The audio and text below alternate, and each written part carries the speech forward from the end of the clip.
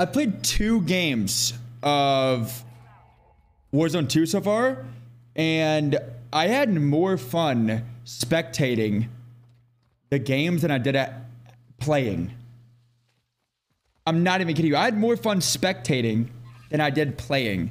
And because we have still 20 hours left of our 24 hour stream, I kind of just want to go play Caldera because I, I, I, I'm going to try to put off playing this game as much as possible.